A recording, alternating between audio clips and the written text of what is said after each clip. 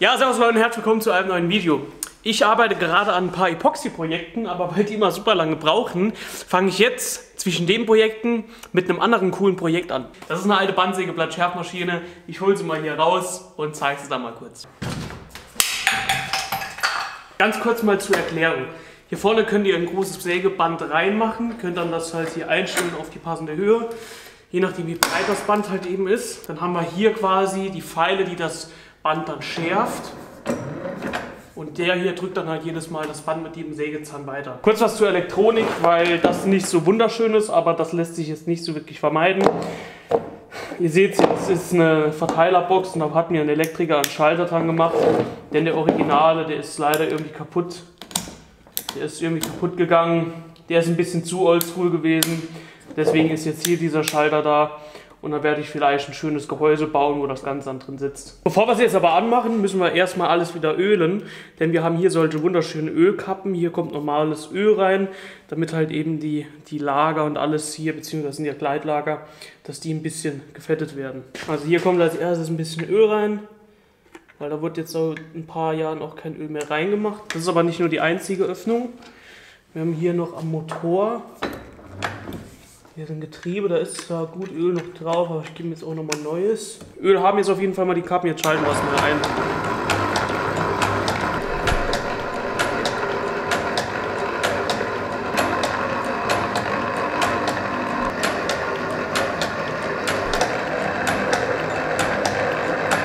Also ihr habt gesehen, die Maschine funktioniert.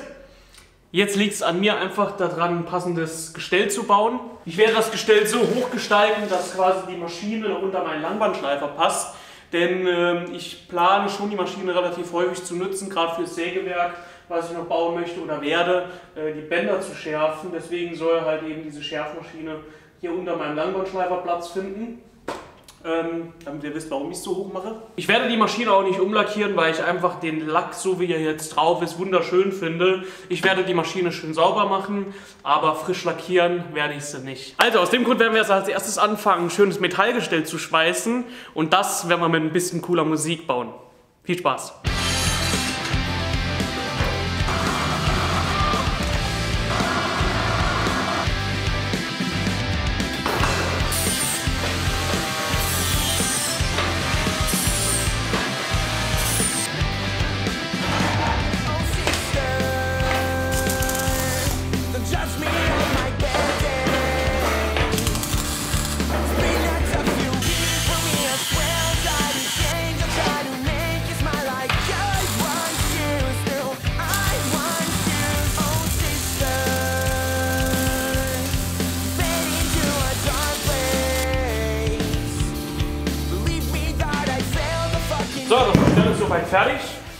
Der Lack ist jetzt schön trocken.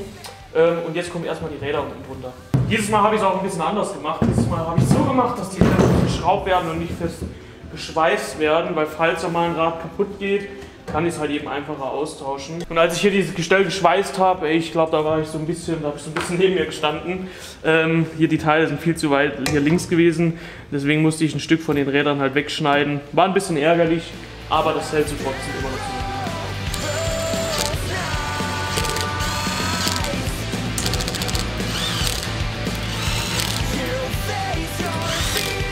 Wir haben jetzt hier, wenn ich, also ich muss ja jetzt hier diese Vertäfelung herstellen, die hier reinkommt.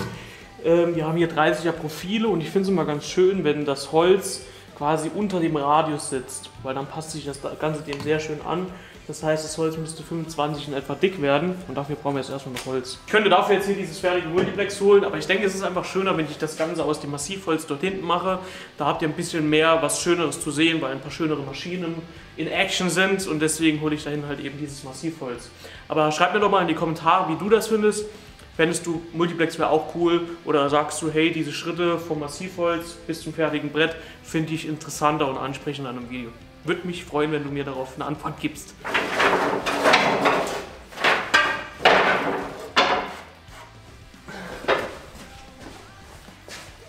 Ich werde diese Teile jetzt mal probieren, auf meinem selbstgebauten Schiebetisch zuzuschneiden. Da habe ich ja auch gedacht.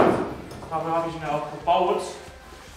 Dann schauen wir jetzt mal, wie gut das funktioniert und ob hier alles zu kriegen ist.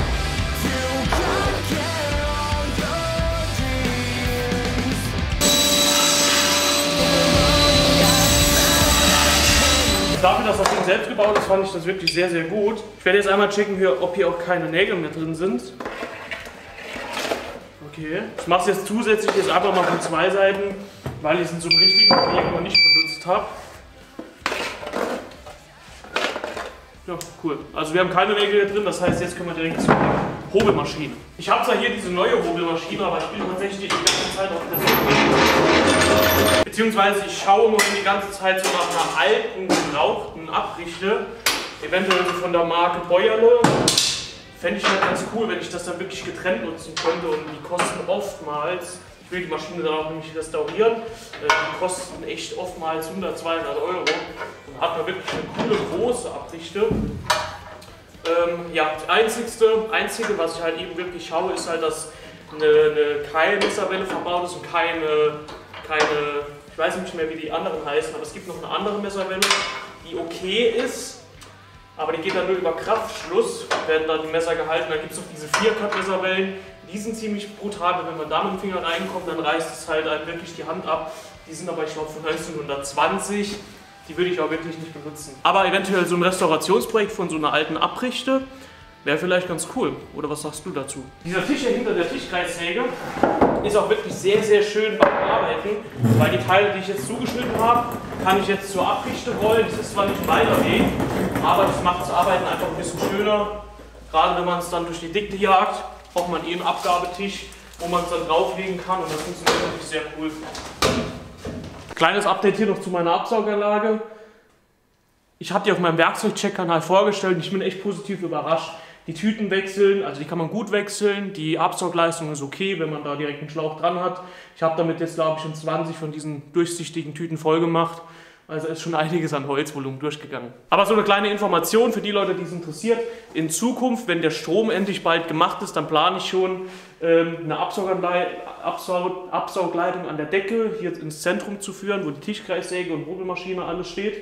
Und dann halt die Absauganlage hinten in die Ecke zu verfrachten damit halt die Späne, weil das wird dann noch mehr Volumen, dass die hinten besser entleert werden können und nicht den Platz zwischen den Maschinen quasi auffrisst.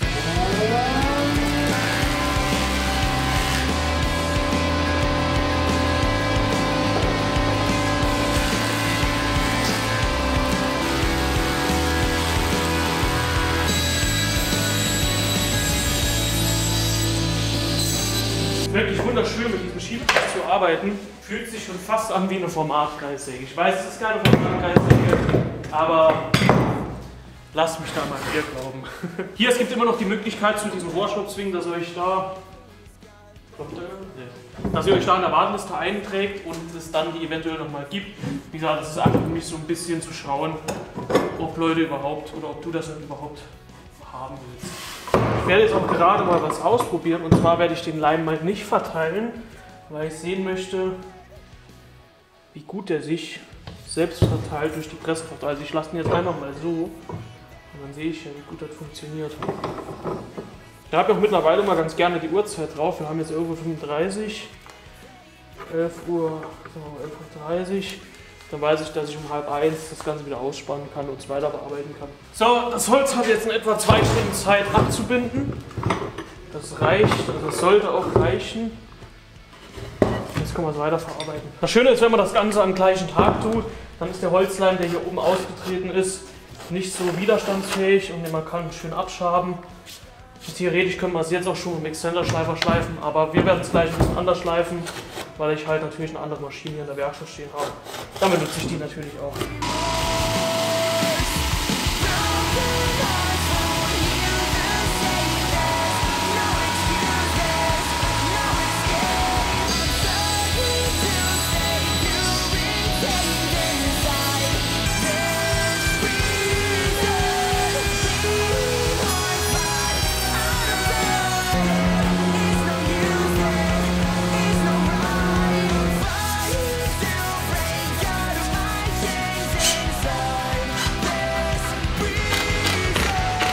Jetzt fange ich mal langsam an, hier die Maschine zu zerlegen und zum Reinigen. Ähm, ja, das kann jetzt ein bisschen dauern, weil da ein paar Teile eingeschmuddert sind.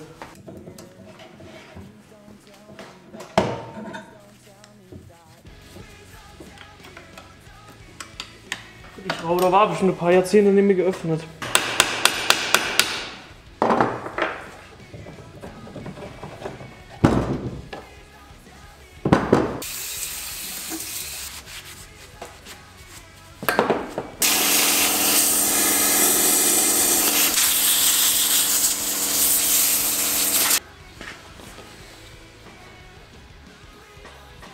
Ich glaube, als nächstes kann man sagen, dass die Hochzeit ist. Da kommt die Maschine jetzt auf ihr frisches Gestell.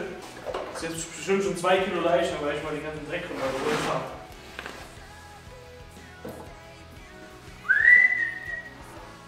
Bandsaw Blade Sharpening Machine, very nice.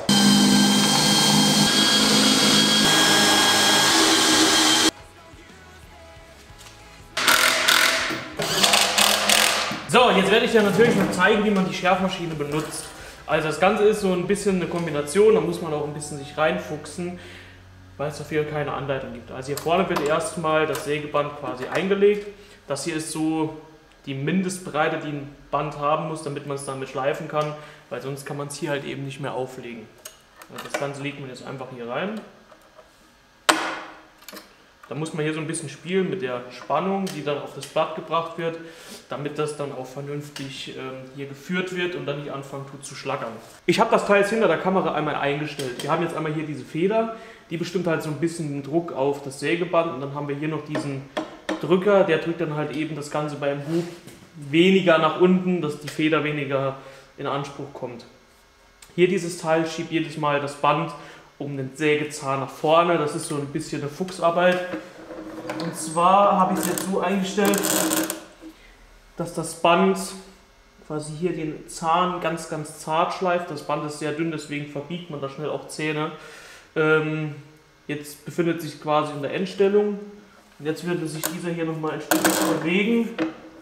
Das ist ein bisschen schwierig einzustellen. Und jetzt sind wir halt perfekt äh, an unseren Positionen. Ist ein bisschen tricky, das einzustellen, ähm, aber es ist jetzt halt eben eingestellt. Zum Ölen. Als erstes gebe ich hier wieder ins Getriebe ein bisschen Öl rein, weil ich da nicht so richtig sehe, wie viel drin ist, deswegen mache ich einfach ein bisschen mehr rein. Dann haben wir hier Öltöpfe und ich werde hier nichts durch Schmiermittel austauschen, weil das Ding so jetzt seit 100 Jahren läuft und es halt mit Öl geschmiert wird und nicht mit Fett. Dann ist mir beim Reinigen aufgefallen, dass hier überall noch solche Stützen sind. Äh, die hat man vorher nicht gesehen, weil da so, zu viel Dreck drin war, aber da kann man auch überall einen Tropfen Öl reinmachen.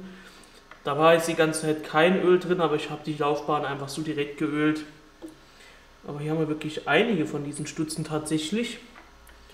Und da kann man halt eben überall auf diese ganzen Drehpunkte, weil das quasi wie so eine Gleitlagerung gelagert ist, da kann man dann überall einen Tropfen Öl reingeben, wo sich was bewegt. Ich kann jetzt nicht so viele Aufnahmen machen, wie ich das Sägeband schleife, weil ich es sonst halt verschleife und das sollte eigentlich in einem Durchgang halt geschliffen werden. Das ist sonst immer ein bisschen blöde. Deswegen mache ich jetzt die Maschine einfach mal an und ihr seht das von der Perspektive.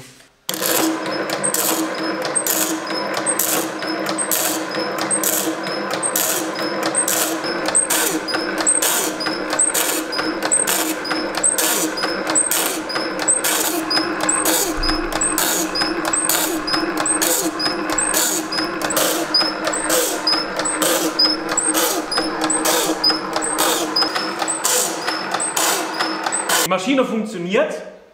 Wenn ich so ans Sägeband dran packe, ist es schon massiv scharf. Ich werde es jetzt mal ausbauen und meine Bandsäge einbauen. Ähm, das hier werde ich natürlich... Ja, ich falle. Ups. Das hier werde ich gleich natürlich noch festschrauben. Ähm, kurz was zum Schärfen an sich.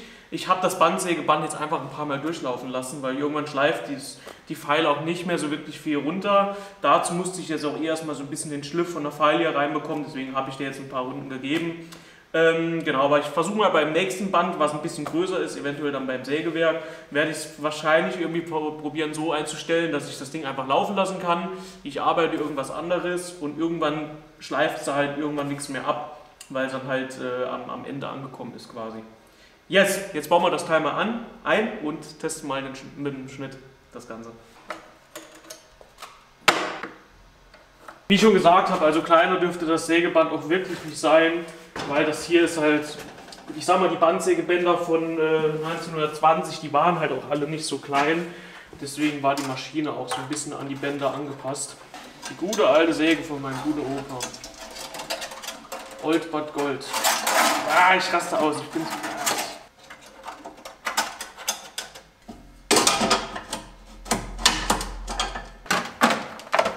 Jetzt machen wir noch einen kleinen Testschnitt, damit ihr seht, dass das auch schneidet.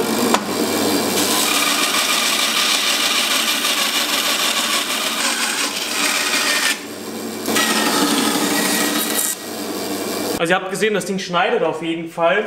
Ähm, ich habe jetzt länger nicht mehr mit der Maschine gearbeitet. Ich glaube, das Band reißt jetzt so ein ganz kleines, ganz klein bisschen, ähm, weil ich diese, die Schärfmaschine am Anfang aber echt ein bisschen schlecht eingestellt habe. Ähm, aber das Sägeband ist auf jeden Fall scharf. Also das hat wirklich gut funktioniert. Diese horizontalen Schnitte, die ich da gemacht habe, äh, die vertikalen Schnitte, die ich da gemacht habe, diese hohlen, ähm, lasst euch nicht blenden. Die Maschine ist ganz, ganz schwach, deswegen geht die da nicht so schnell durch.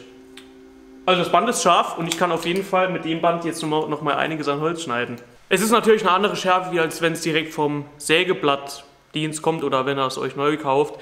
Ähm, denn ihr habt mittlerweile bei diesen neueren Bändern quasi so einen Zahn. Also das hier ist der Zahn und mit der Schärfvorrichtung, wie ich es habe, ist der Zahn eher so. Das heißt, wenn es neu ist, schneidet es wahrscheinlich ein bisschen effektiver, aber wenn es halt dann eben, eben stumpfer wird, dann schneidet es halt auch nicht mehr so, weil es nicht mehr scharf ist. Und damit habe ich halt eben die Möglichkeit, das Ding einfach mal schnell durchzuschärfen und die Bänder halt mal einfach mal zu schärfen. So viel dazu. Eine Sache, die mir auch noch gerade einfällt, weil ich das Teil hier ja für mein Sägewerk benutzen möchte, da werde ich wahrscheinlich noch so ein bisschen üben müssen, weil wenn man da die Zähne ungleichmäßig verschränkt, dann kann ich mir vorstellen, dass das Band dann anfangen tut zu wandern bei einem Schnitt auf dem Sägewerk. So, diese wunderschöne Maschine hat jetzt wirklich einen schönen Stand, so wie er auch sein muss für diese wunderschöne Maschine. Ähm, ihr habt die Maschine in Funktion gesehen, wirklich eine sehr, sehr schöne Maschine. Maschine, Maschine, Maschine. Schreibt gerne was in die Kommentare, was ihr vielleicht irgendwie ergänzend dazu sagen könnt oder vielleicht habt ja jemand von euch auch so eine Maschine. Ähm, Würde mich auf jeden Fall interessieren. Wie gesagt, das Teil hier wird wahrscheinlich für mein Sägewerk größtenteils dann eingesetzt, ähm, dass ich damit dann halt auch diese größeren Bänder dann schleifen kann, weil da kann man ja relativ große Bänder mit einspannen. Bei mir hat sie jetzt nochmal quasi eine neue Chance bekommen, neues Leben. Hier wird noch einige Jahre und Jahrzehnte hoffentlich ähm, weiterlaufen, damit sie auch vielleicht irgendwann 200 Jahre alt ist. Ich wünsche euch einen ganz, ganz tollen Tag, freue mich auf deine Bewertung und sage bis zum nächsten Video. Tschüss.